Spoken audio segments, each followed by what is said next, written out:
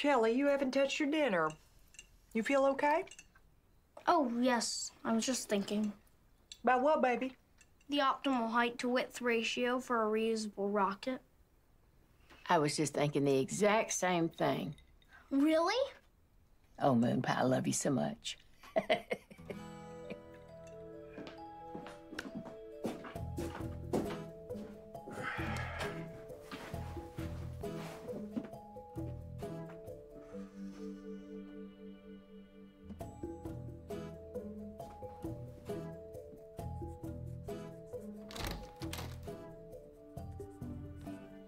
It's late. What are you doing up?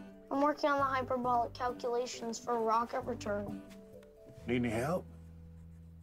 What? I'm kidding. Turn out the light and go to bed. But Now.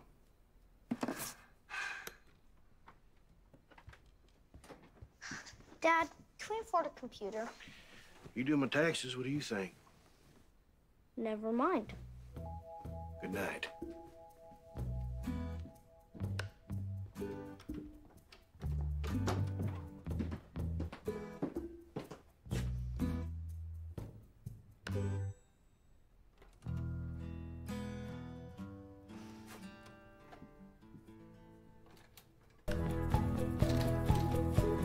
Mom, What?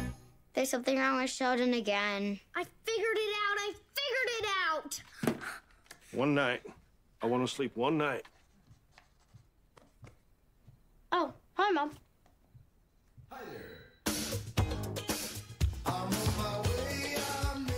With my research complete and my ulcer on the mend, all that was left to do was send my work to NASA and wait to become America's scientific sweetheart.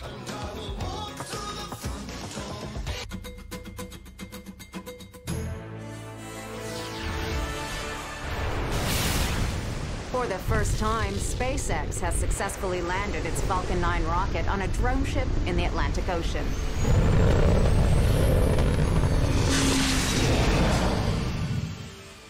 SpaceX founder Elon Musk called the event an incredible milestone in the history of space.